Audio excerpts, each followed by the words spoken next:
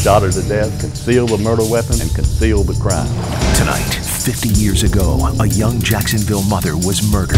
The killers confessed, but the family says justice hasn't been served to this day. That's a cover up. First Coast News anchor Ken Amaro goes back 50 years to tell the story you haven't heard. Stopped it right there, dead in its track, before we could get it to the grand jury. Denial of Justice, tonight at 6 and 11, only on First Coast News. First for you.